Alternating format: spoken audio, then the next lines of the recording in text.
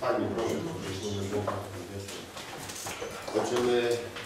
Dziękuję za ten wieczór. Jesteśmy powierzeni Tobie dzisiaj. Wiemy, że do nas mówisz, jesteśmy otwarci na siebie Święty. Ty jesteś tym, który wkłada swoje słowo w nas, my je przyjmujemy, wydajemy plon teraz. Duchu Święty, nic nas nie zablokuje, niczego nie zaniedbamy z tym słowem. Amen. Więc tak, ja chcę dzisiaj takie trzy krótkie, krótsze, krótsze tematy poruszyć. E, Wrócę jeszcze raz do listu do Hebrajczyków 6, 1, 2, gdzie mamy e, informację o podstawach chrześcijańskiej nauki. Poruszyliśmy już z tego fragmentu temat zmartwychwstania i temat sądu wiecznego.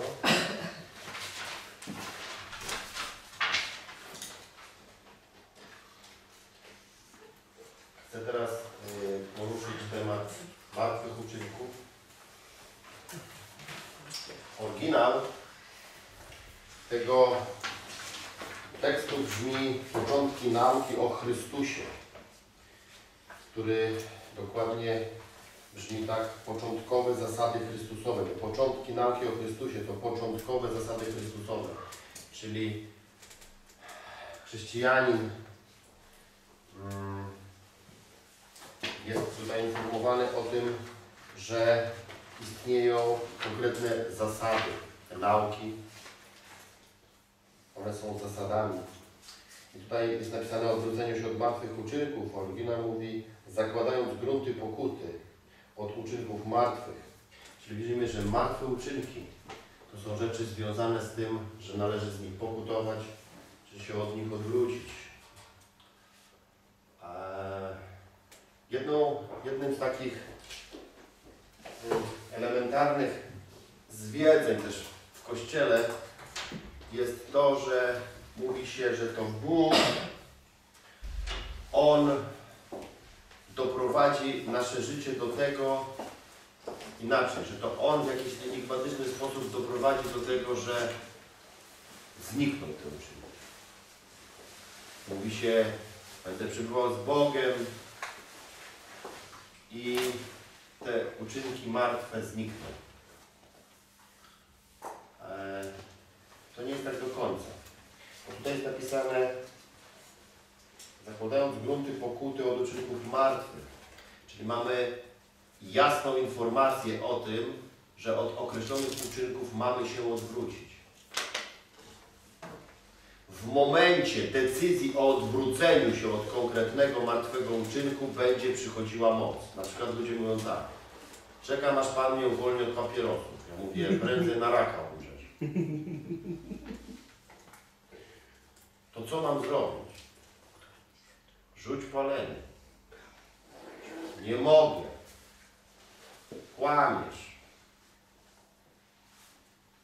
Bo Słowo Boże mówi tak. Wszystko jest możliwe dla tego, który wierzy. I dalej jest napisane. Wszystko mogę w tym, który mnie umacnia w Chrystusie. A więc palisz, bo chcesz. I możemy z tym polecieć zawsze i do końca i we wszystkim. Chorujesz, bo chcesz. Jesteś biedny, bo chcesz. Jesteś samotny, bo chcesz. Nie chcę! Ludzie krzyczą. Ja mówię, nie kłam. Jeżeli się coś może zrobić, a się tego nie robi, to proszę bardzo, wyjaśnijcie mi, jakie słowo należy zastosować. Jeśli mogę coś zrobić, mogę, to co to znaczy, że ja tego nie robię? Jest tylko jedno słowo. Nie chcę tego zrobić. Zgadza się?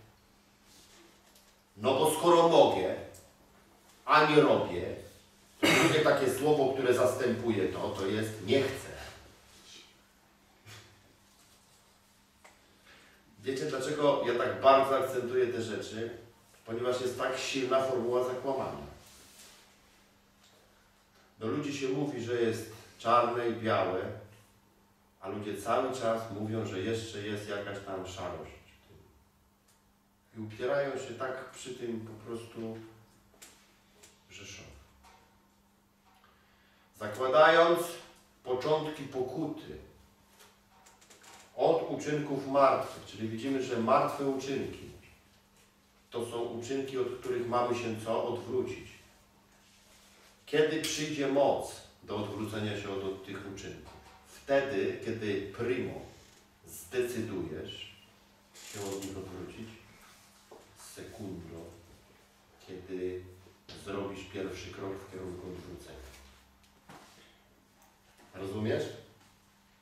Słowo Boże mówi tak, Jozue, gdziekolwiek noga Twoja ustanie, ziemię tą oddam Tobie. Tam nie jest napisane Jozue, oddam Ci tą ziemię. Nie. Nie jest też napisane Jozue, oddam Ci tą ziemię i wtedy do niej pójdziesz. Nie jest też napisane Jozue, oddam Ci tą ziemię wtedy noga Twoja na niej ustanie. Jest napisane Jozue. Gdziekolwiek noga Twoja ustanie, to ten fragment Ci oddam. Widzicie różnicę? To jest wielka różnica. Wielka różnica. Wielka różnica. Człowiek mówi tak. Zaraz wrócę do genezy martwych uczynków, ale chcę pociągnąć jeszcze coś jednym przykładem. Mówi tak. W ranach i sińcach Jezusa jest moje uzdrowienie. I następnego dnia on nie pójdzie do pracy, bo on się kurwie.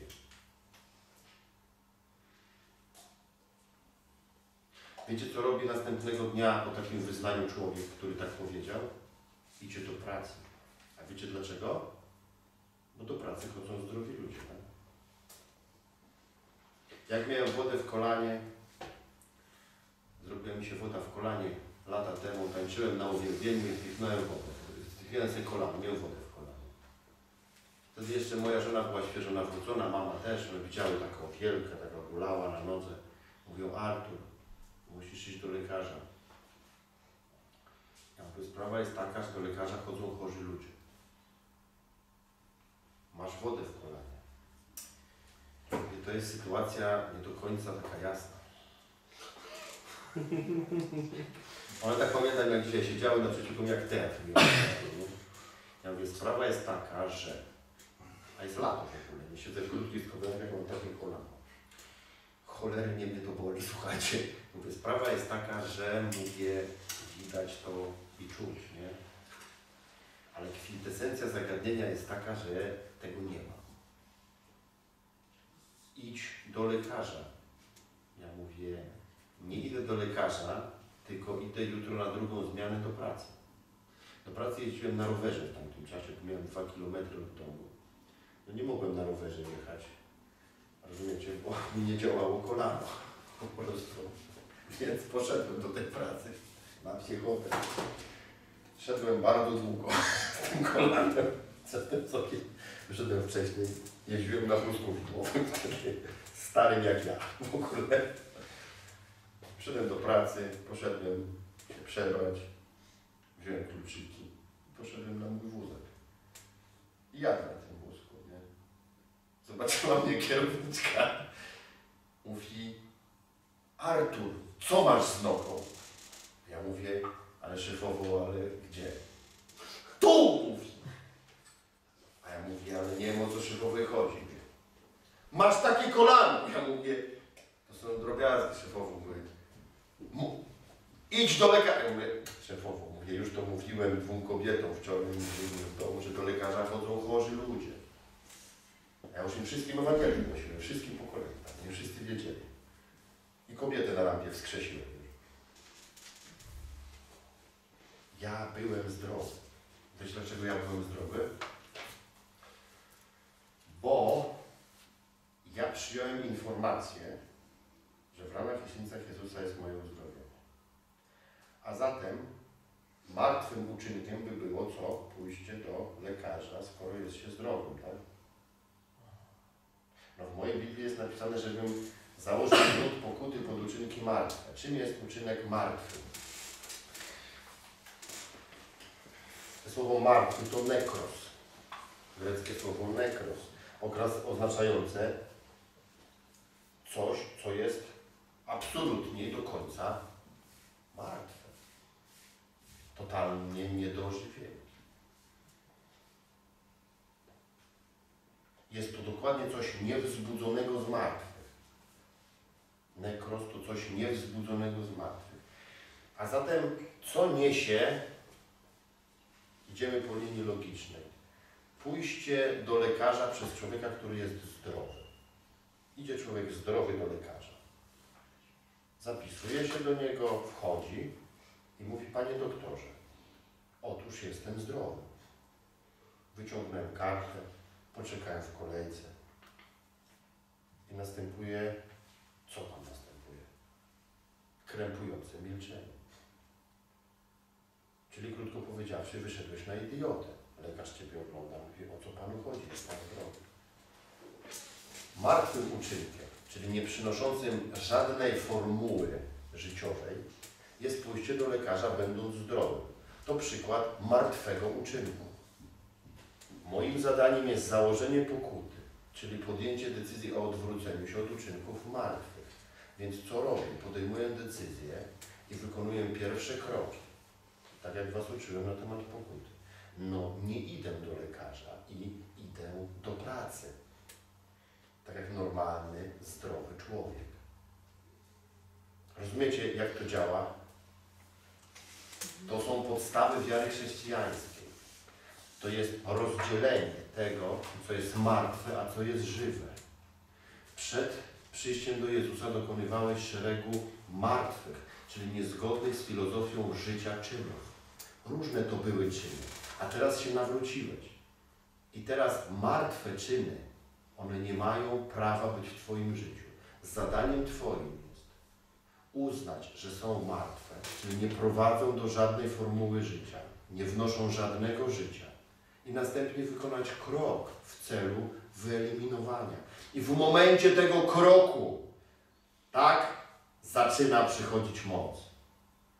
W ciągu najbliższych dni chodzenia przeze mnie do pracy z wodą w kolanie i wyznawania, że nie mam wody w kolanie, woda w kolanie, o, się wchłonęła. Ja mówiłem, jak tam wlazłaś, tak wyjdziesz. I szedłem do pracy. Bolało mnie, ale wiara jest pewnością tego, czego nie widać. Ból był symptomem martwego uczynku. Symptom ów zachęcał mnie, abym nie szedł do pracy, abym wziął zwolnienie, abym nażarł się ketanolu i leżał do góry kołami. Potem poszedł na rentgen, dowiedział się, że mam jakieś mikropęknięcia czy inną cholerę i żebym spędził parę tygodni na zwolnieniu. Do tego namawiał mnie ów ból. A słowo namawiało mnie, żebym się odwrócił od owego impulsu śmierci. Żebym uznał, że jestem zdrowy, mimo tego, że czuję się cholernie chorym. I żebym zaczął działać zgodnie z moim przekonaniem, a nie z tym, co odczuwam i widzę. Oto różnica między żywym uczynkiem, a martwym uczynkiem. Człowiek idzie do sklepu kupić sobie papierosy i mówi, Panie Jezu, wyzwól mnie od palenia. A przepraszam, mówię, dlaczego idziesz do sklepu kupić sobie papierosy? Mówię, no ja nieraz z ludźmi tak rozmawiałem, no taki, no taki, no tak idę, bo nie jestem jeszcze wolny. Ja mówię, nie no. No to czego Ty chcesz od Jezusa? Bo Jezus już nikogo nie uwalnia dzisiaj. Nie uzdrawia. Jesteś wolny, czy nie jesteś wolny? No jestem wolny. To po co idziesz do sklepu? Pędzicie coś, pchacie coś, co Ty tam masz? Co, co Ci jest, że Ty idziesz? Przecież nikt Cię nie pędzi. Nikt Cię tam nie pędzi. No idziesz sam do sklepu, no tak, sam, na dwóch nogach. Tak? Nie niosą Cię demony. Nie przesuwasz się proszę Ciebie enigmatycznie nad chodnikiem. Normalnym ruchem posuwisto-zwrotnym przesuwasz się z kolanka do sklepu, proszę Ciebie po szluczku. Normalnie po ludzku. Wiesz dlaczego? Bo chce Ci się jarać. chce ci się jarać i uważasz, że krzyż jest za słaby na twoje bóle w żołądeczku. To martwy uczynek gdzieś po te szluki. Martwy.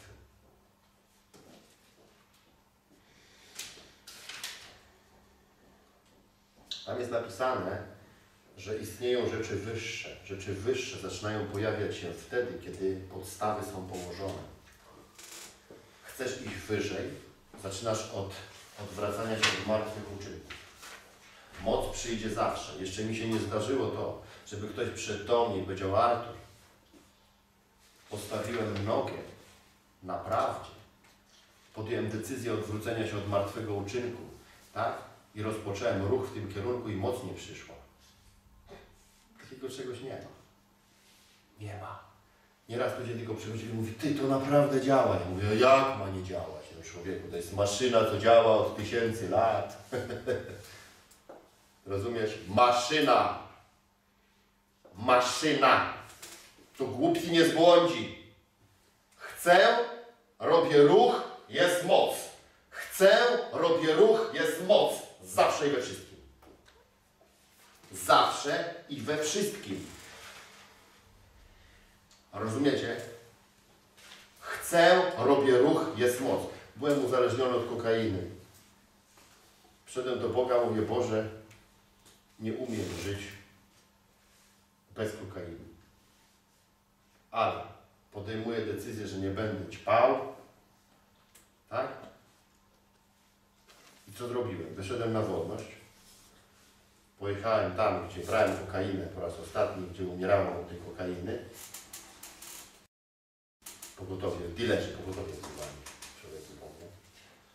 Zalazłem tam na dół, do nad sedes, bo sedesu, którego wąchałem ostatnią kreskę, po której stanęło mi serce.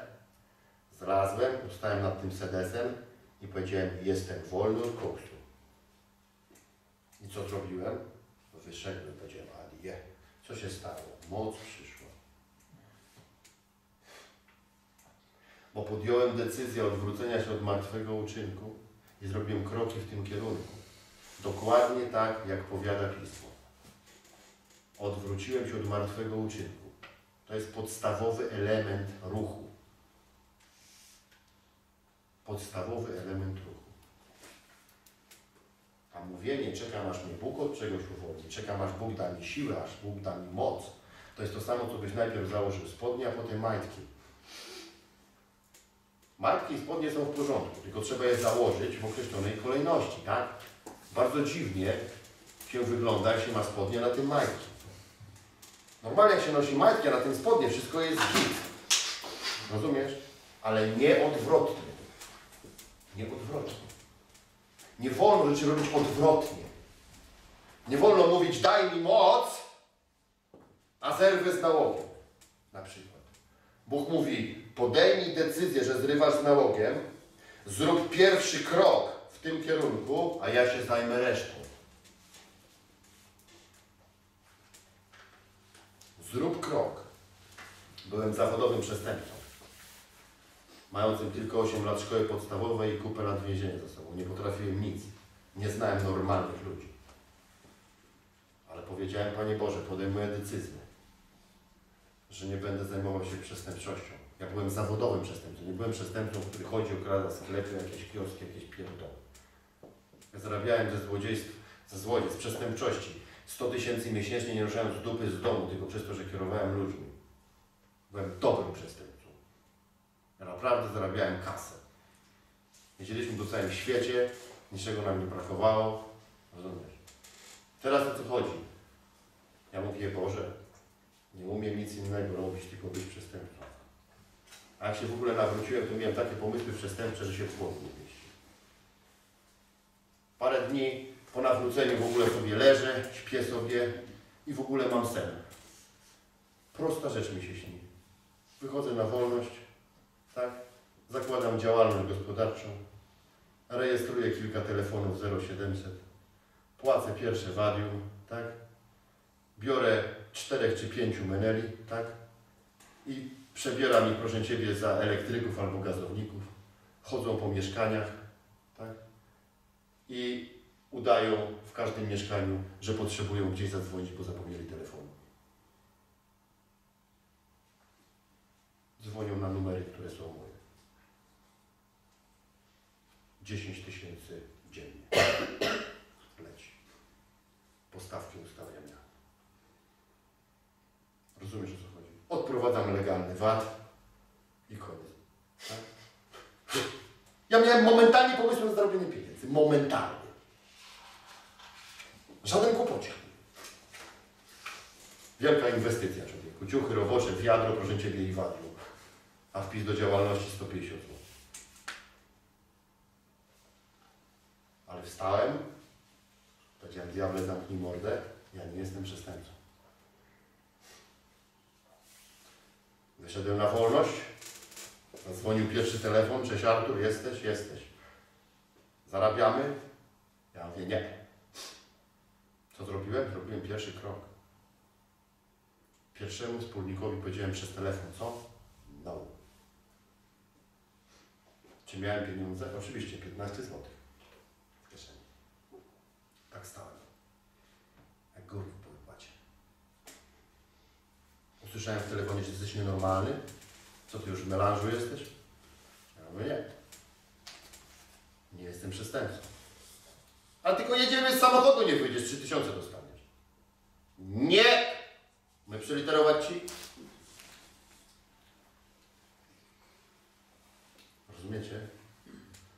Położyłem fundament pokuty pod uczynek martwy. Co się stało? Przyszła moc. Przyszła moc. Przyszła moc. Zacząłem coraz jaśniej o tym mówić wszystkim moim wspólnikom. Zaraz dostałem pracę. Zacząłem się uczyć pracować. Niebawem założyłem firmę. Rozumiecie, to jest bardzo ważne, co do Was teraz mówię. Są takie fundamentalne rzeczy. To takie mechanizmy podstawowe. Podstawowe mechanizmy. Nie oczekujemy, aż moc przychodzi. Podejmujemy decyzje, wykonujemy kroki, wtedy przychodzi moc. Podstawa odwrócenia się od uczynków martwych. Hebrajczyków 9:14. Potwierdzenie tego, co mówię. O ileż bardziej krew Chrystusa, który przez Ducha Wiecznego ofiarował samego siebie bez skazy Bogu, oczyści sumienie wasze od martwych uczynków, abyśmy mogli służyć Bogu żywemu. Co to znaczy? To znaczy, że jest Ci dana moc do wyeliminowania uczynków martwych. Od momentu przyjęcia Jezusa jako Pana i Zbawiciela, krew Jezusa, ona wzmacnia Cię w tym kierunku, abyś rozpoczął proces odwracania się od uczynków martwych. Rozumiesz? To nie jesteś w tym wszystkim sam. On mówi, decyduj, zrób krok, ja uwalniam moc. W każdej dziedzinie, ludzie. W każdej dziedzinie. Uczynek martwy to uczynek, który nie przynosi życia, który nie jest wprost proporcjonalny do dzieła krzyża, który nie jest po stronie nieba, który nie przynosi chluby Królestwu Bożemu. To bardzo prosto rozpoznać. Osoba Jezusa jest obrazem dla nas postępowania w uczynkach żywych. Jezus nie zrobił ani jednego martwego uczynku. Powiem więcej. Kiedy chrześcijanin się pomodli, powie, Panie mój, chcę jasno widzieć uczynki martwe, tak? To będzie widział jak na dłoni. Bo co jest napisane? Jawne zaś są uczynki ciała. Jakie? Jawne. Jawne! Jasne jak słońce są uczynki ciała. Tu się nie trzeba domyślać. Tu trzeba chcieć usiąść, tak? I przyjrzeć się sobie. Nic więcej. To każdy zobaczy. Każdy to zobaczy. Często do mnie ludzie przychodzą i mówią tak, pastorze, czy to co robię to jest dobre czy złe, czy tam zdrowe czy niezdrowe? Ja mówię, ty mi powiedz. No mi się wydaje, że niezdrowe. No mówię, bo ty wiesz, że jest niezdrowe. No. To po co ty przyszedłeś? No tak czułem, że to niezdrowe. No przecież to widać, że jest niezdrowe. prezbiterzy, to jest niezdrowe. Przecież Ty masz Ducha Świętego, Ty wiesz, że to jest niezdrowe. Każdy człowiek, który chce zobaczyć szczerze to, czy jego uczynki w danej dziedzinie są martwe czy żywe, od razu to zobaczy. Rozumiecie? Od razu, jak tylko chce zobaczyć, byle chcieć zobaczyć. Właśnie moc przychodzi wtedy, kiedy my decydujemy się, tak, na ogląd sytuacji. Od razu przyjdzie moc. Przykład. Tak. W Chinach pewien kaznodzieja chodził i głosił Ewangelię po wioskach. Chodził i głosił po prostu. Nie miał nawet ze sobą Biblii, bo tam za to, żeby go złapali z Biblią, mogliby go zamknąć do więzienia w tamtym czasie, więc oni, wiecie co robili? Uczyli się Biblii na pamięć. Kaznodzieje chińscy. Na pamięć! Czujecie klimat? To jest podejście do służby konkretne. Biblia na pamięć. I taki kaznodzieja sobie szedł przez te wioski, zatrzymywał się w każdej wiosce i głosił Ewangelię. I nawróciła się para starszych ludzi, takich koło 70, dwoje Chińczyków. On był człowiekiem, który codziennie pił robione przez siebie wino. Był alkoholikiem. Ona była przyzwyczajona do tego, że jest alkoholikiem. Przyszedł wieczór, a w ciągu dnia obydwoje oddali życie Jezusowi. Nie mieli Biblii, nie mieli pouczenia, nie mieli kaznodziei, nie mieli nikogo. Jak co dzień wieczorem nalał sobie kubek wina. Wziął kubek wina i odstawił. Aż żona spojrzała. A on do niej powiedział, wiesz co? Nie będę pił wina od dzisiaj. Ona mówi, jak to nie będziesz pił wina od dzisiaj? Zawsze pijesz wino i zawsze się nim upijesz. On powiedział, jakiś wewnętrzny głos do mnie mówi, że nie powinienem pić wina, bo to jest szkodliwe dla mnie. Jakiś głos wewnętrzny mu powiedział. Co to było? Normalne, szczere nawrócenie się człowieka koło południa, tak? A już wieczorem słyszał Ducha Świętego. Dzisiaj ludzie szkoły kończą teologiczne, żeby się dowiedzieć, że Duch Święty mówi. A stary Chińczyk tak, w ciągu paru godzin słyszał Ducha Świętego. Wiecie czemu? Bo chciał. Bo był otworzony na to. Bo był zdec jakby zdecydowany, że przyjął w ogóle tą Ewangelię taką, jaka ona jest. Zależało mu, kurczę. I momentalnie zobaczył, co? Uczynek martwy. Swój martwy uczynek zobaczył. Powiem Wam więcej. Duch Święty to jest największy fachowiec w tym, żeby Ci pokazywać rzeczy, rozumiesz, które Cię niszczą na dzień dobry. Kiedy Ty się modlisz do Boga, to najpierw, kiedy Ty realnie nawiązujesz kontakt z Duchem Świętym w Twoim duchu, to Ty najpierw zaczynasz widzieć co? Mankamenty swoje. Do mnie często przychodzą ludzie i mówią, takie mam objawienia od Pana, takie mam objawienia, takie objawienia. A ja mówię, a masz takie objawienie, że tutaj w takiej patologii siedzisz, czy nie masz? Oni tego Panu nie objawią, wie, to nie Pana, taką mam dla Ciebie nowinę. To nie z Panem masz relację. To z kim mam relację? Ja mówię, nie wiem z kim. Się spyta, ma na imię. Ja nie wiem, z kim Ty masz relację.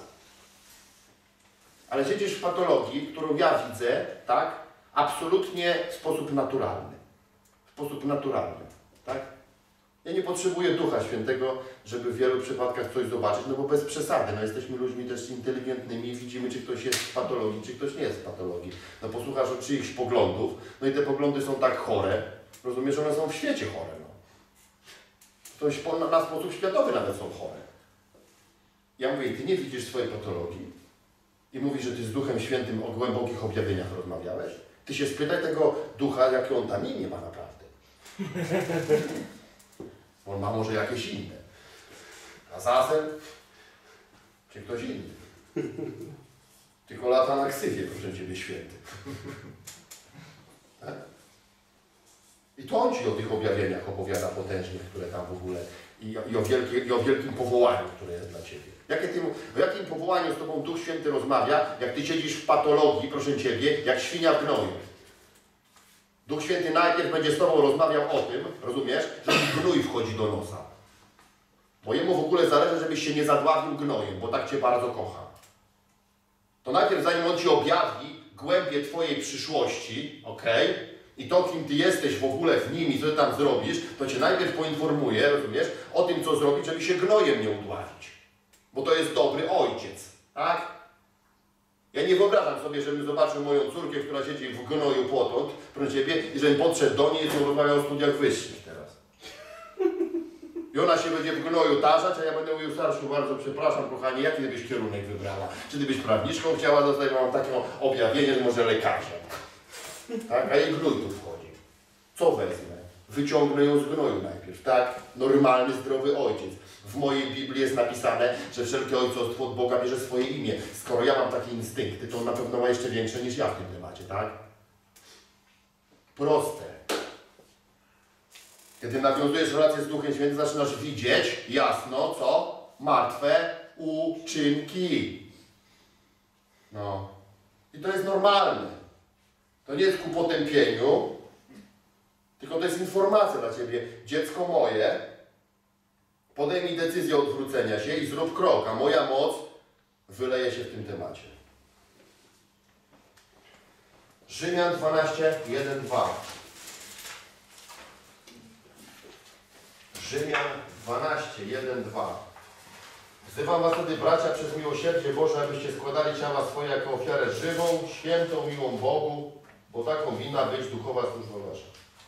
A nie upodabniajcie się do tego świata, ale się przemieńcie przez odnowienie umysłu swego, abyście umieli rozróżnić, co jest wolą Bożą, co jest dobre, miłe i doskonałe. Jak działamy? Po pierwsze, decyzja o składaniu ciała. Ciało. Ludzie mówią, od czego mam zacząć? Pastorze. Ja mówię, podejmij decyzję, że ciało złożysz na ofiarę. Jak mam ciało złożyć? Ja mówię, zacznijmy od tego, że w każdą niedzielę będziesz w kościele. Tak zacznijmy. Potem zróbmy tak, że w każdą środę będziesz na spotkaniu. Tak na dzień dobry. Tak? Potem zróbmy tak, że będziesz szmal przynosił na służbę. Taki zrobimy manewr w Twoim życiu. Tak Ci pomogę w tym życiu. Potem, tak? Zaczniesz podchodzić do ludzi, tak? I ich przytulać. Zobaczcie, wszystko fizyczne rzeczy. Wiecie skąd ja je biorę? Z listu Rzymian 12, 1, 2. Składajcie ciała wasze. Czy tutaj jest napisane? Zbierajcie objawienia, budujcie waszego ducha. Nie. Składajcie ciała wasze, bo na tym będzie polegała duchowa służba wasza. Na czym? Inaczej, od czego się zaczyna duchowa służba? Od złożenia ciała, a nie od zgrupowania objawień. Ja mówię ciało najpierw.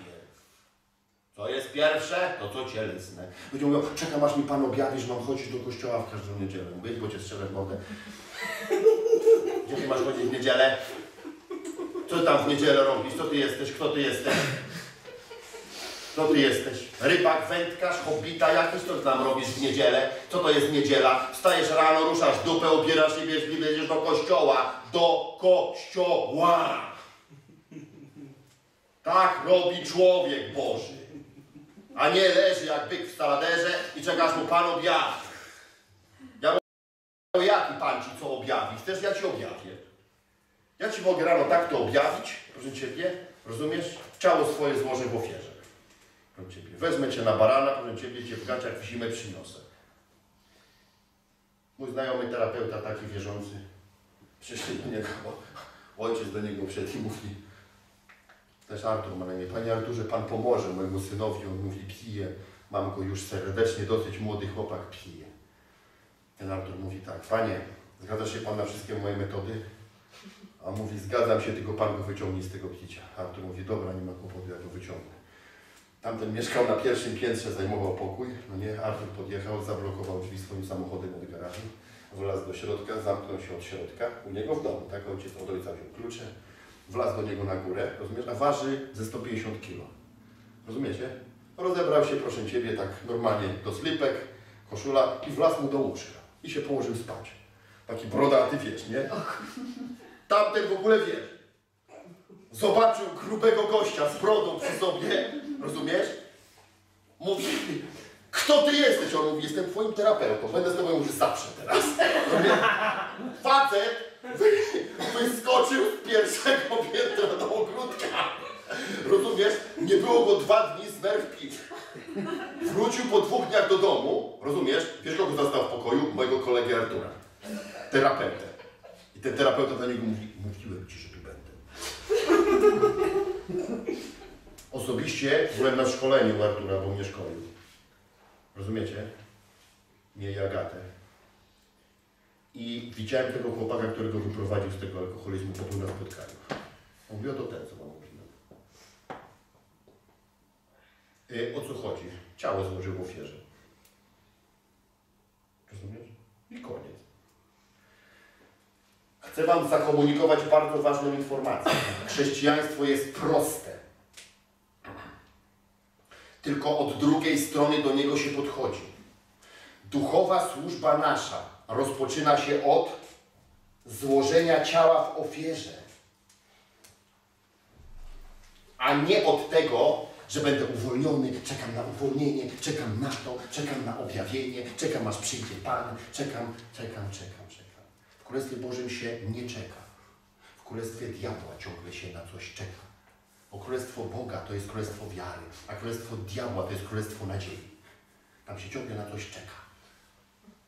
W nadziei się ciągle czeka. Czeka się. Diabeł mówi, poczekaj, poczekaj. Przyjdzie Pan, Pan Cię uzdrowi, Pan Cię uwolni, Pan Cię wyprowadzi, Pan Cię wzmocni. Jak już będziesz taki mocny, to pójdziesz. A Bóg mówi, składaj ciało w ofierze, o co Ci chodzi? Narodziłeś się z Bożego Ducha, tak, to chodź. Jestem z Tobą, jestem z Tobą, jestem z Tobą. Składaj ciało w ofierze. Nie bój się, nie bój się, nie bój się. 365 razy krzyczy w Biblii. Nie bój się na każdy dzień roku po jednym razie. 365 razy. Nie bój się i nie lękaj. Złóż ciało w ofierze, złóż ciało w ofierze, złóż ciało w ofierze. Początek służby duchowej. Początek służby duchowej. Bo pierwsze jest to, co cielesne. Cielesne. Rusza się cielaka. Cielaka się bierze za mordę i go się prowadzi tam, gdzie mówi Pan. A nie się czeka. Takie właśnie chrześcijaństwo jest, a szczególnie charyzmatyczne. Siedzą. Co robicie? Czekam, aż Pan poruszy. Człowieku, Ciebie tajfun by nie poruszył.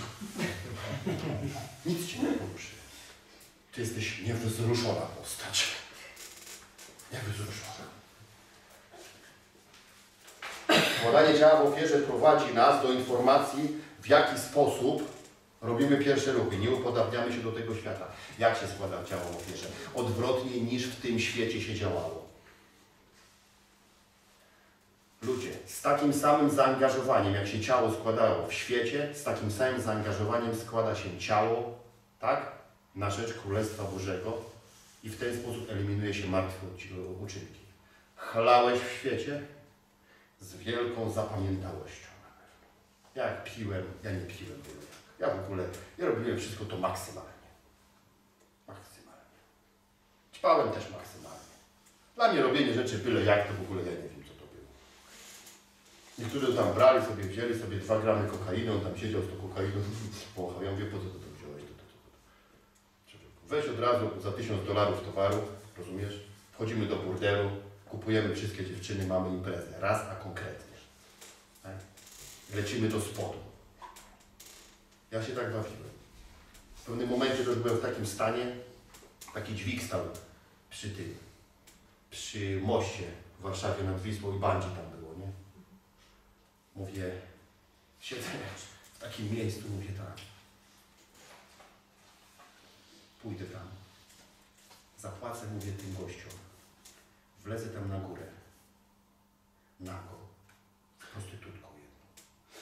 Powiem, żeby nas razem związali nogami. Zapalę kraka i razem z nią się rzucę stamtąd. Wtedy mi adrenalina skoczy, mówię. Ja miałem takie pomysły.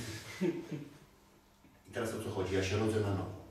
I wchodzę z tym potencjałem do Królestwa Bożego. I Bóg do mnie mówi, z, taki, z taką pasją, z jaką składałeś ciało na, ofiarze, na ofiarę diabłu, z taką składaj na ofiarę w moim królestwie Artur. W ten sposób łamie się system martwych uczynków. Tak jak w świecie, tylko w drugą stronę. Co tu kombinować? Jak w świecie mogłeś nie spać i melanżować, tak? to teraz nie śpi się módl.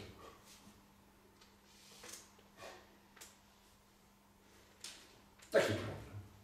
Dzisiaj dla ludzi jest problem nocna modlitwa. A ile się będziemy modlić? Ile ta nocna modlitwa będzie trwała? Wiesz, jak nie byłeś w świecie, chlałeś po nocach, nie było problemu ile chlałeś, tak? Ile imprezowałeś. Teraz masz problem, gdy się będziesz modlił. Poszedłeś na imieniny, siedziałeś pół dnia na imieninach, teraz masz siedzieć pół, pół dnia w kościele? Teraz masz kłopot. Bo jest niedziela. Nie z tego, że jest niedziela.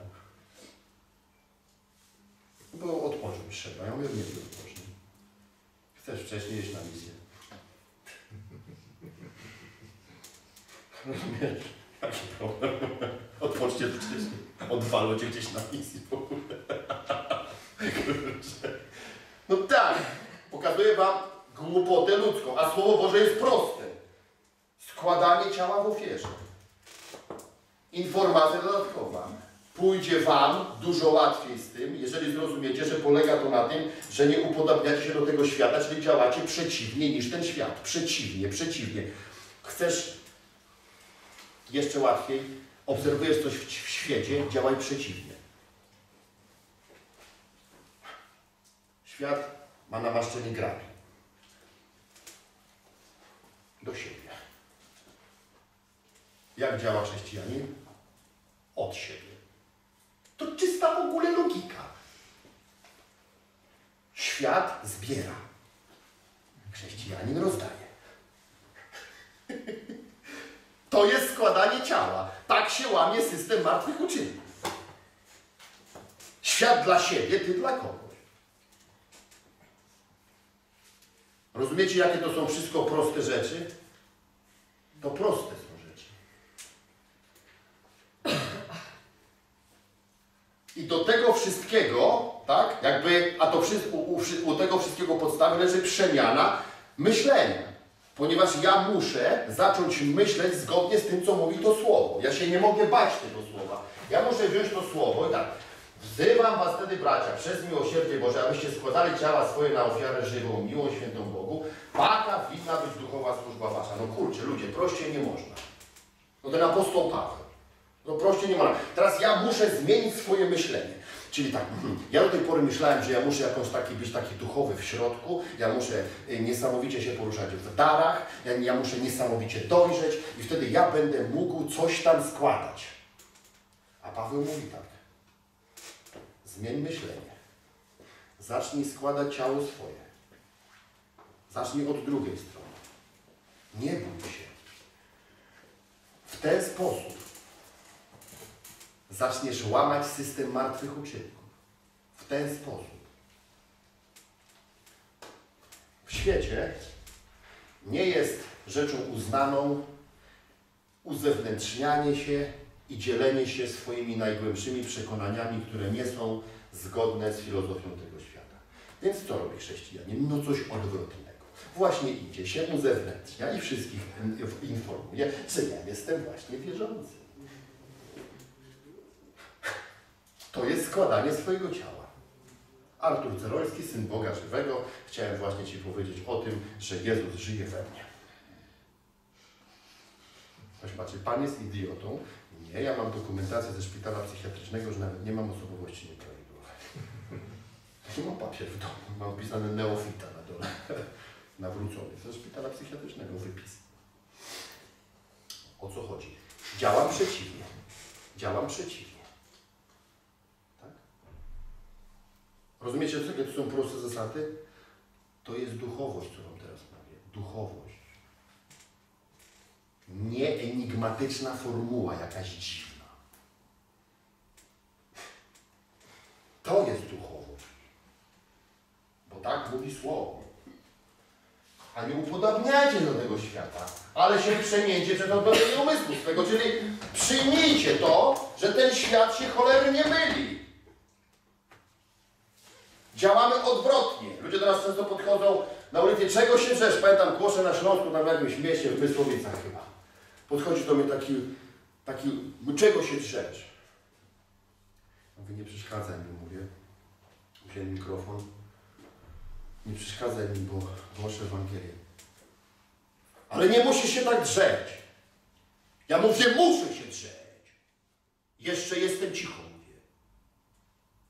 Bo mówię, w mojej Biblii jest napisane, że co mi powiedzieli na ucho, mam przeżyć na dachach. Jeszcze się nie wpieprzyłem na ten dom, uważaj, mówię.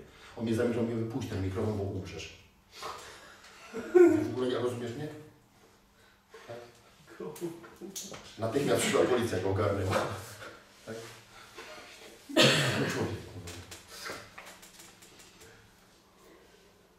Ten, ten świat jakoś działa. A teraz ja przemieniam swoje myślenie w ten sposób, że ja będę działał przeciwnie niż ten świat. Przeciwnie. Ten świat działa lękowo. Lękowo. Ktoś cię atakuje. Dajcie tutaj takie proste przykłady, lękowe. Zeszły piątek. Zeszły piątek Agata pojechała na ewangelizację, wieczór. Głoszą tam na ulicy. Do Agaty podchodzi taki caban i coś tam do niej w ogóle gada. Agata stoi i mówi do niego wcale nie jesteś taki kozak. Ty jesteś w ogóle lękliwy człowiek. A on mówi, wejdź, bo zaraz w mordę dostajesz. Agata mówi, rękę na mnie podnieś, to, padnie, podnieś, to padniesz trupem. Tutaj jestem córką Boga. Co ty myślisz, z kim ty gadasz? Babą ze świata? Mówi, jesteś cienki, cienki. Nawet nie jesteś do taki bandzior, nie? Nawet nie jesteś dobrym złodziejem. A on stoi i płacze. I mówi, tak, faktycznie, ja nawet nie kradnę odpowiednio. Ja jestem w ogóle zerem. Przyjdź do Jezusa. Ty, większy dotąd mu sięgała, dotąd w ogóle. Mówi, przyjdź do Jezusa. Dobra, to ty jesteś. Rozwalił się na środku alei jerozolimskiej w ogóle. Stoi, "Eee, na dobrym jest. Co zrobiła? Zadziałała przeciwnie niż świat. Tak? Nie nawaliła w portki, że jakiś bandzior do niej podszedł. Bo teraz zaraz bandzior trzeba się bać. A dlaczego? A to taki w ogóle pomysł, że trzeba bać bandziora? Ja nie wiem, o co tutaj chodzi, bo bandzior, no to co? No tak, takie jest zaburzenie, no kurczę. No jemu się wydaje, y, że on jest ktoś. Rambo. Że on ważny jest, tak. Rambo po remoncie. Ale ona zadziała przeciwnie świat. Co zrobiła? Złożyła ciało, co się stało? Przyszła moc, moc, moc, moc. Tak jest zawsze do końca tego świata. Złamała system martwego uczynku. Zmieniła tok myślenia. Przyjęła tok myślenia inny niż ten, który jest standardowy. Normalny tok myślenia mówi, nie rób tak, jesteś malutka. A to jest bandzior. Nie możesz tak robić, bój się, bój się go, bój się. Tak mówi świat, bój się. Daj mu spokój. Nie, nie dam mu spokoju, właśnie dia jak mi diabeł mówi, że coś zrobi, robię absolutnie odwrotną rzecz. Absolutnie odwrotną. Można by mnożyć przykłady. Musicie zmieniać toki myślowe. Rozumieć, że świat się myli. Rozumieć, że składanie ciała polega na tym, że my działamy przeciwko, przeciwnie niż ten świat proponuje. I tym sposobem łamiemy system martwych uczynków. To samo wychodzi. Świat nam daje tysiące reakcji. Tysiące reakcji. Rozumiesz? Zazdrość. Pan dać Ci prosty przykład. Zazdrość, taka reakcja. Jest małżeństwo i teraz ona czy on zazdrośni są u siebie na przykład. Co to jest zazdrość? Czym jest zazdrość, tak? Przecież zazdrość, tak? Ono, on, ona wynika z niskiego poczucia własnej wartości. Jestem zazdrosny, czy jestem zazdrosna? Boję się, że zostanie mi odebrany ten ktoś, kogo kocham. Świat akceptuje zazdrość. Jak sobie wbijecie w internecie, jak powinien, jakie są naj, najważniejsze cechy u męża, to wiecie, co na większości portali jest? Żeby był zazdrosny. Bo te głupie baby chcą, żeby o nich facet był zazdrosny. No. Bo ona się wtedy czuje dowartościowana, bo on zazdrosny jest. To na teraz, no teraz jestem ważna, on jest zazdrosny i, i teraz to. To świat proponuje zazdrość, tak? Zobacz, składanie ciała polega na tym, że no nie będę. Miłość nie zazdrości, napisane jest w Starej Księdze. Tak? W miłości nie ma zazdrości. No nie ma. No nie ma zazdrości. No nie ma takiego czegoś. Tak? A więc teraz działam przeciwnie. Zaczynam wymieniać swoje myślenie. Nie, no mam chore uczucia, no jestem zazdrosny. Kurczę, no muszę ze sobą coś zrobić, Panie Boże. Uznaję to za taki sam grzech jak morderstwo, uznaję to za martwy uczynek. Patrzę na moją żonę i w ogóle jestem zazdrosny o moją żonę. No co to w ogóle ze mną jest? Pokazuję Wam różne, na różnych miejscach, to w ogóle działa w każdej dziedzinie. Martwe uczynki to uczynki, które nie przynoszą życia, które nie są związane w ogóle z zasadami prawdy i miłości. To wszystko jest martwe, nieważne jak humanistyczne, nieważne jak ładnie wyglądające. A sposobem na zidentyfikowanie tego jest otwartość tak, na Boga, podjęcie decyzji o złożeniu swojego ciała w ofierze. Tak? Gdzie dostajemy prostą informację, że aby to robić, zaczynamy działać inaczej niż ten świat, a u podstawy wszystkiego musi leżeć zmiana naszego myślenia, która mówi zacznij myśleć tak, jak ja Tobie proponuję. Jak ja Tobie dziecko bo mówię, że ten świat się myli, to nie poddawaj tego wątpliwość. Tylko zadziałaj przeciwnie niż ten świat. Tak?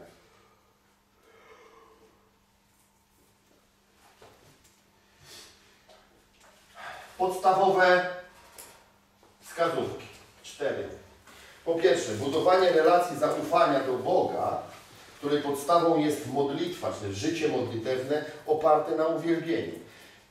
Ja rozwinąłem głębokie zaufanie wobec Boga yy, poprzez rozwinięcie życia modlitewnego. Jak będę uczył na temat modlitwy, będziemy o tym mówić o wiele głębiej.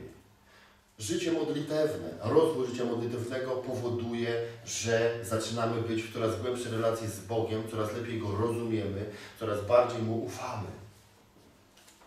Tak? Gdzie uwielbienie tak naprawdę jest epicentrum całego zjawiska, ponieważ ja od rana wstaję, ja mówię dziękuję Ci Boże, że wstałem. Uwielbiam Cię za to, że jesteś tak wielki, że jeszcze tego wszystkiego cholera nie trafiła i że jeszcze mogę przeżyć kolejny dzień. Po drugie, studiowanie Słowa Bożego. Ja Was zachęcam do studiowania Pisma Świętego. To, o czym my wczoraj mówiliśmy, to jest pożyteczne narzędzie. Przede wszystkim Nowego Przymierza, ale pod jakimi kątami? Jest pięć takich głównych kątów, pod którymi powinieneś studiować Pismo Święte i myślę, że na tym się powinniście skupić. Przede wszystkim musicie studiować temat łaski. Po drugie, temat wiary. Po trzecie, temat tożsamości w Chrystusie. Waszej tożsamości w Chrystusie. Po czwarte, temat porażki diabła. I po piąte, temat duchowych zasad, które są w Biblii. W ogóle Biblii nie trzeba studiować pod różnymi kątami, to jest zbędne. Zbędne. Łaska, wiara, tożsamość moja w Chrystusie, porażka diabła i duchowe zasady, które, którymi jest kierowana, którymi się kieruje rzeczywistość duchowa. To tak jak kodeks drogowy. Tu się nie trzeba zastanawiać, proszę Ciebie, czy Adam, Adam z Ewą mieli pępki, bo na cholerę nam to wiedzieć. Ja nie wiem, czy mieli. Może mieli, może nie mieli. Natomiast na tym nie będę spędzał życia. Rozumiesz? Nie będę spędzał życia e, na, na wielu jakichś czynnikach, które nie są ważne dla mnie. Trzecia rzecz to jest trwanie w społeczności Kościoła. Kościół to jest miejsce naszego życia. Chrześcijanin żyje w Kościele. Ja mówię o Kościele, gdzie jest zdrowa nauka, gdzie są relacje miłości z ludźmi Bożymi. Ja nie mówię o czymś innym, bo reszta to nie Kościół. Będę Was uczył o Kościele, to Wam pokażę, to wiele rzeczy, które nazywane jest Kościołem, w ogóle Kościołem nie jest. To nie są Kościoły, to jest. I czwarta rzecz, ryzykowanie w wierze, czyli działanie na podstawie zestawienia trzech powyższych punktów. Ryzyko w wierze. Czyli ja na przykład muszę ryzykować składanie ciała w ofierze.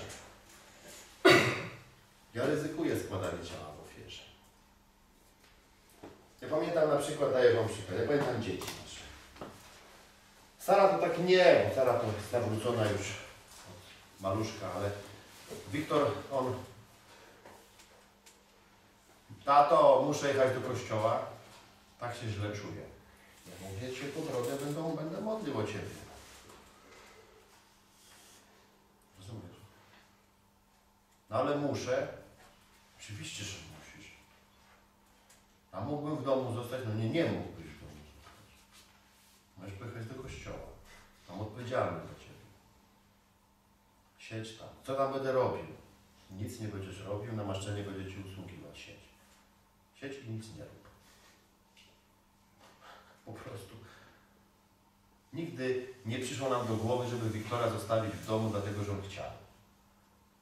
Mimo, że on jeszcze nie poznał Jezusa, ale jego kręgosłup moralny utworzony jest między innymi przez to, że był w kościele, że namaszczenie mu usługiwało. Ułożyło mu w głowie. Rozumiecie?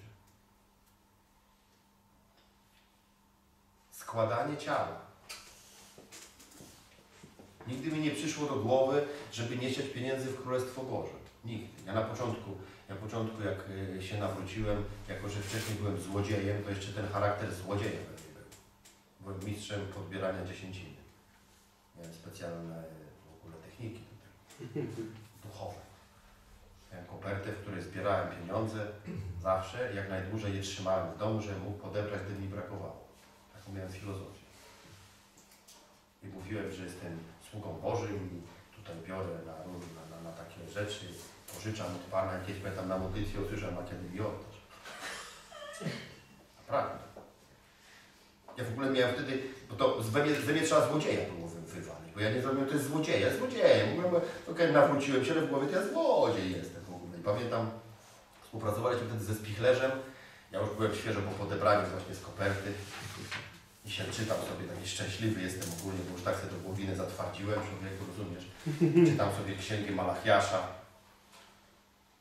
i czytam w ogóle, przynieś całą dziesięcinę do spichlerza. Boże, mówię. Zamknąłem. Zatem s- sobota była. Ja, I to był, to był, to już był ostatni dzień w ogóle, który był podebrany, bo były pieniądze. Bo to wiesz, do debila to trzeba było patologicznie przemówić, rozumiesz o co chodzi. Specjalny anioł człowieku, jest taki, z łopatą w ręku. Tutaj nie można było normalnie. Tak? Ale to, i teraz, teraz ja, ja, ja y, ale, ale potem od tego czasu też mi do głowy nie przyszło, żebym ja nie, nie w Królestwo Boże. Do tego stopnia, że w pewnym momencie to już zniknęła w ogóle w naszym domu, to zniknęła pewnego rodzaju granica, bo my, my nie mamy granicy. Ja nie wiem, co to, to, co to dziesięcina, nie dziesięcina, ja się już na tym nie znam. Wiesz o co chodzi? Bo ja nie wiem, czy, o co chodzi z tym. Wszystko, co mamy, za wszystko szerzymy królestwo, tak? I żyjemy ze w tym wszystkim w ten sposób. Chodzi o to, że ja chcę Wam pokazać, jak ważną rzeczą jest decyzja i pierwszy krok w tym, aby uczynki martwe nie miały miejsca w naszym życiu. Nie czekajmy na jakiekolwiek działania dziwaczne, które sobie uroiliśmy, że być może to jakoś się tak zdarzy, jakoś tak. Przyjmijmy proste metody. Składamy nasze ciała w ofierze na dzień dobry. Czy nam się chce, czy nie chce, czy my czujemy, czy nie czujemy. Nie bawimy się na... Niektórzy mówią, ja muszę mieć wewnętrzne przekonanie. Ja mówię, tak, wewnętrzne przekonanie. A powiedz mi, co Ty rozumiesz przez wewnętrzne przekonanie? I wiesz co, wielu, większość tych, co tak mi mówią, to nie wiedzą w ogóle, co to jest wewnętrzne przekonanie. Bo dla nich wewnętrzne przekonanie to jest jakieś enigmatyczne odczucie w środku. Ja mówię, wiesz co to jest wewnętrzne przekonanie? Wewnętrzne przekonanie to jest absolutna zgoda na to, co powiedział Bóg w swoim prawie. Mówię, zgadzasz się ze składaniem ciała w ofierze, czy się nie zgadzasz? No mówię, zgadzasz się czy nie? No powiedz. No zgadzam się, to złóż to, złóż to teraz. Ja mówię, to i masz przekonanie teraz, czy nie masz? No nie mam, ja mówię, bo w to nie wierzysz. Prawda jest taka, że nie wierzysz w Boże Słowo. Taka jest prawda o tobie. I ty mi pieprzysz o wewnętrznym przekonaniu? Wewnętrzne przekonanie? Człowiek. Wewnętrzne przekonanie jest ściśle związane z tym, czy ja wierzę prawdzie Bożej. Jak ja wierzę prawdzie Bożej, to to wewnętrzne przekonanie, ono sobie podróżuje wtedy w człowieku. Ono się wtedy, ono się przejawia. W ogóle jak jest, wiecie, jak jest wiara w prawdę, wtedy zaczyna działać wewnętrzne przekonanie. I wtedy z takim człowiekiem to można, można rozmawiać. Ja rozumiem, Co to jest wewnętrzne przekonanie? Bo to jest 90 parę procent głosu Boga do człowieka. Ja funkcjonuję tylko na podstawie wewnętrznego przekonania. Ale ja dzisiaj wierzę w a nie poddaję ją wątpliwość. A ktoś poddaje wątpliwość prawdę Boże, mówi, ja nie mam wewnętrznego przekonania. Ja mówię, bo ty nic nie masz w środku. Ty masz opór. Opór. Opór masz w środku. Bo Bóg coś mówi, a ty mówisz, to do tego jeszcze muszę być przekonany. Wiecie w ogóle, że jest szereg zasad Bożych, tak jasnych, tak prostych, tak klarownych, że łatwiej nie można. Ja na przykład nie, nie szukam wewnętrznego przekonania, czy coś ukraść, czy nie ukraść. Wiecie? Prawda? Nie mam takiego czegoś, że szukam wewnętrznego przekonania. Idę sobie do sklepu i mówię, czy tak szukam wewnętrznego przekonania, czy by zapieprzyć tę cytrynę, czy nie. Ja nie mam takich, takich precedensów, tak coś nie istnieje. A wiecie czemu? Bo ja bez żadnego wewnętrznego przekonania, tak, wiem, że nie trzeba kraść, bo to jest szkodliwe. Ok?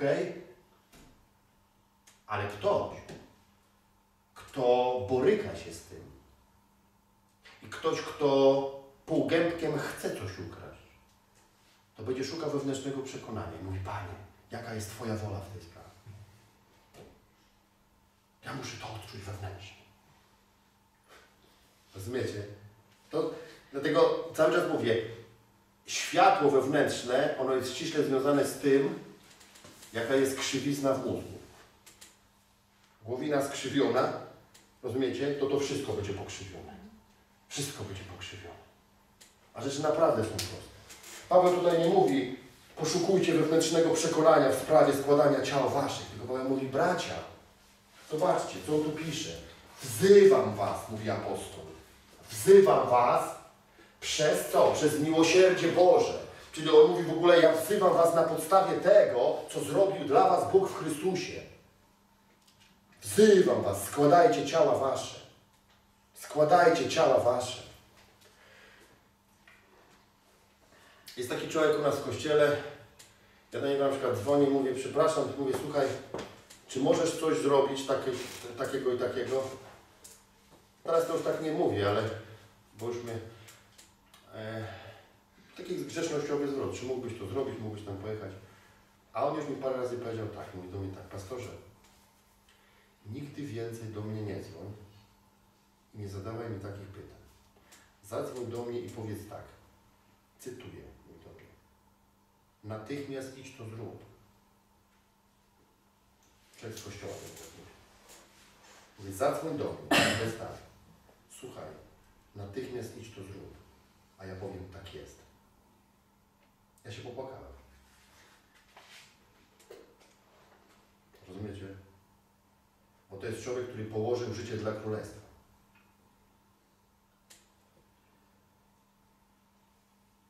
Rozumiecie? Położył życie dla królestwa. On ma w dupie kurtuazję. Jego interesuje to, co powiedział święty Paweł. Wzywam was wtedy, bracia, przez miłosierdzie Boże, abyście składali ciała swoje na ofiarę miło Bogu, bo to jest duchowa sprawa wasza, duchowy człowiek. To człowiek składający swoje ciało. To człowiek, który uznaje, że ten świat działa kłamliwie i, i, i zaczyna działać przeciwnie niż system tego świata. I zmienia swoje myślenie właśnie pod tym kątem. Tak działa duchowy człowiek. A człowiek duszewny będzie chodził i będzie gderał. Nie mam tego, nie mam tego, nie mam przekonania, nie mam odczucia, nie mam tego. Ty po prostu nie chcesz, nie chcesz, nie chcesz. Dalej chcesz siedzieć w swoim grajdołku. I dalej chcesz udawać kogoś wielkiego. I dalej chcesz mówić, tak? Że po mnie choćby potop. Dzisiaj sobie czytałem tą książkę, co u Ciebie byłem i tam taki fajny ten, a mówi tak. Łatwo jest krzyczeć po mnie choćby potop, jak się siedzi na sedesie i się spuszcza wodę. Twardzie, po mnie choćby potop. On jest kimś, wiesz o co chodzi. Tak może. Czyż nie prawda? Mówiłem. Chodzi o to, że przyjaciele, musimy patrzeć z perspektywy duchowej A perspektywa duchowa jest wielokrotnie zupełnie inna.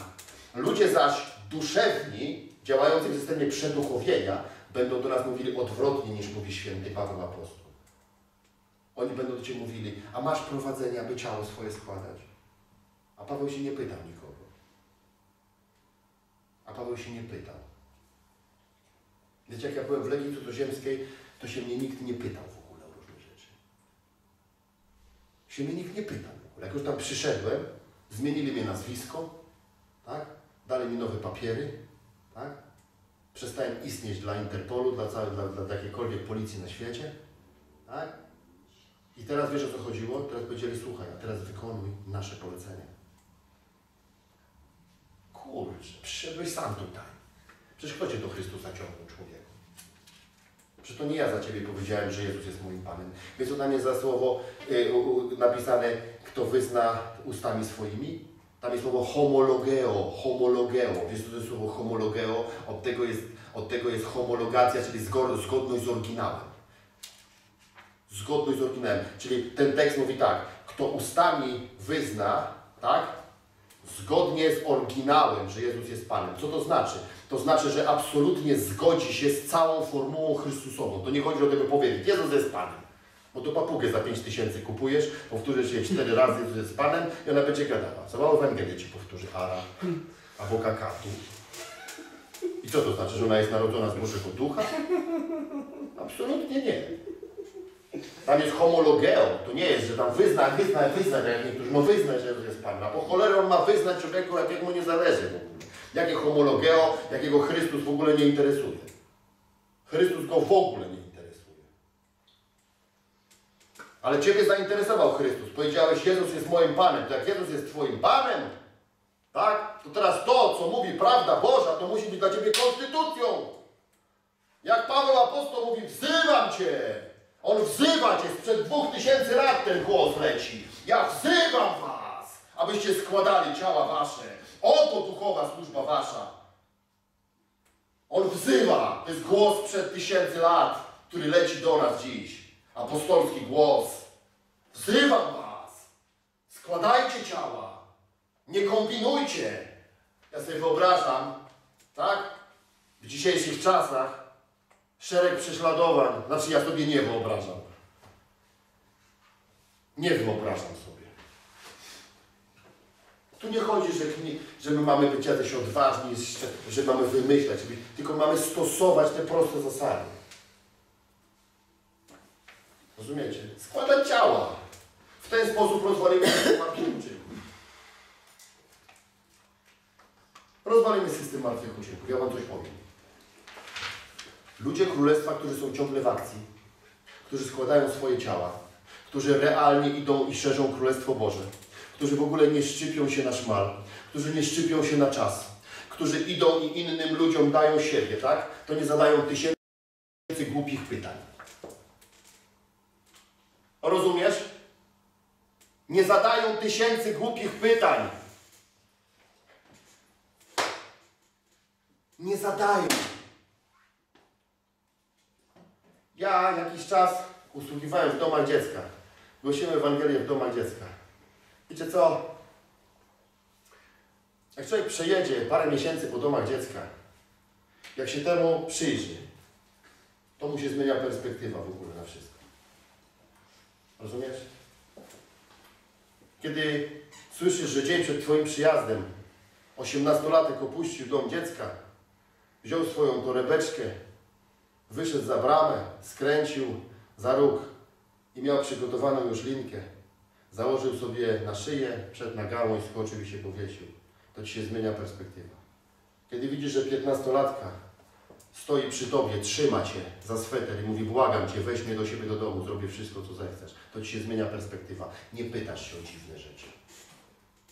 Nie mówisz, jak głębokie jest objawienie w tej sprawie. Rozumiesz? Nie zastanawiasz się. Wiecie, jak mój syn zszedł od narkotyków i wskrzeszałem go z martwych, tak? To tylko dlatego to zrobiłem, bo nie byłem człowiekiem, który zadaje głupie pytania. Ja wiedziałem, że mogę wskrzesić z martwych, go wskrzeszyłem z martwych. położyłem swoje ciało. Byłem przyzwyczajony do kładzenia swojego ciała. Tu była pani dyrektor, tu, tu była cała kadra, wszyscy, już jedzie pogotowie, już jedzie pogotowie, już panie Arturze, wszystko jest w porządku, wszystko jest w porządku. Ja tam wpadłem, złapałem go, mówię, że on nie ma tętna. Ale panie Arturze, już jedzie pogotowie. Złapałem go, mówię, wracaj w imieniu Jezusa. Oni wszyscy uciekli stamtąd. Kierowniczka i WF-istka nie uciekły, bo stały na końcu i nie mogły wyjść. Dyrektorka i WF-istka. I on natychmiast otworzył oczy i zżygał się żółcią. Ja mówię, teraz czekamy na pogotowie. Teraz czekamy na pogotowie. Teraz. Jak wrócił. Rozumiecie? Od tutaj my musimy to zrozumieć. Dlatego Paweł mówi, wzywam was. Martwe uczynki. To jest system, który musi być przez nas uznany za czołowy błąd życiowy. Nie zajmujemy się rzeczami nieistotnymi, zajmujemy się rzeczami istotnymi. A wszystkie nieistotne rzeczy rozpieprzamy na dzień dobry. Posługujemy się składaniem naszego ciała w ofierze. Zaczynamy od prostych manewrów, podejmujemy decyzje. Panie Boże, moje ciało należy do Ciebie, moja fizyczność należy do Ciebie, moje pieniądze należą do Ciebie, mój czas należy do Ciebie, mój mąż należy do Ciebie, żona, dzieci, praca, śmieci, wszystko należy do Ciebie. Wszystko należy do Ciebie. Nie posiadam już żadnej własnej własności. Nic nie posiadam. Nic nie posiadam. Nic nie posiadam. Biorę Twoje słowo. Kto żyje w małżeństwie, jakby nie żył w małżeństwie. Kto korzysta ze świata, jakby nie korzystał. Kto sprzedaje, kupuje, jakby nie sprzedawał i nie kupował. Mój czas należy do Ciebie. Jestem gotowy, Panie Boże mój. To to jest złożenie ciała. Ja nie wiem, dokąd mam pójść, ale jestem gotowy, żeby pójść. Już. Już jestem gotowy, Panie Boże. Już jestem ubrany, przepasany, gotowy. Teraz czekam na objawienie. Kiedy ja czekam na objawienie, gdzie mam pójść, jak jestem gotowy do wyjścia. Jak on ich z Egiptu wyprowadza? Mówi, proszę się ubrać, proszę się przepasać, laski w dłoń, nogi na bu- buty na nogi, tak? I co? Oni nie wiedzą, gdzie mają iść. Oni nie wiedzą, oni mają być jacy gotowi. Moje ciało jest gotowe. 24 godziny na dobę. Jestem gotowy, jestem gotowy, jestem gotowy. Ludzie, ja tym żyję wiele lat. Ja tym żyję wiele lat. Ja moje ciało złożyłem w ofierze. Z takim samym e, entuzjazmem, jak je złożyłem kiedyś w świecie. Rozumiecie? I na, I na to przychodzi moc. Na to przychodzi moc. A nie, że ja teraz będę czekał. Ja w świecie nigdy nie czekałem na specjalną inspirację do tego, żeby na melanż pojechać. Co ty? Dostałem telefon. Artur mówi, słuchaj, są dziewczyny, jest wszystko. Ja już jestem. Już jestem. Tam nie było, że ja mówię, wiesz ziomuś, muszę się zastanowić. Ja w życiu nie powiedziałem, że się muszę zastanowić, żeby na imprezę. Ja nigdy nie miałem czegoś takiego. Ja nigdy nie powiedziałem, wiesz ziomuś, nie mam takiego prowadzenia. Dzisiaj mam prowadzenie, żeby obejrzeć dziś w Pegacie. Rozumiesz? Nie. Ja byłem gotowy 24 godziny na dobę, żeby grzeszyć. To teraz jestem gotowy 24 godziny na dobę, żeby nie grzeszyć. Rozumiecie? Byłem gotowy 24 godziny na dobę, żeby żyć w tym świecie. Teraz jestem gotowy 24 godziny na dobę, żeby żyć w Królestwie. O, i to jest składanie ciała swojego w ofierze. I dopiero tu przychodzi objawienie, gdzie, co, jak, w prawo, w lewo, z kim, z tamtym. Rozumiesz, o co chodzi? Dopiero teraz przychodzi. A nie, że ja będę czekał. Już gotowy wszystkie markoczynki pod ścianę, przeładować i rozwalić. Krok po kroku.